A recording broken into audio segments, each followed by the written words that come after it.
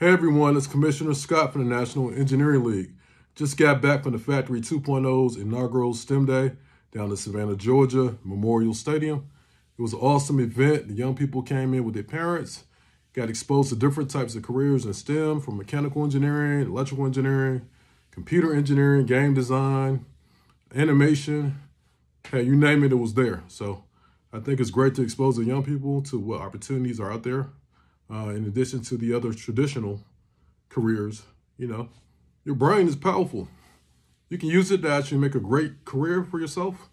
And I think having young students from all over the nation come to show that they're actually in school studying this stuff and giving hands-on demonstrations, I think it, it served its purpose and it was very impactful for the kids to be able to see that. So great job, Coach Rob DeLoach, the Factory 2.0, for having the vision to put this together and we were glad we were able to jump in and help where we can. So congrats, keep up the good work. Until next time.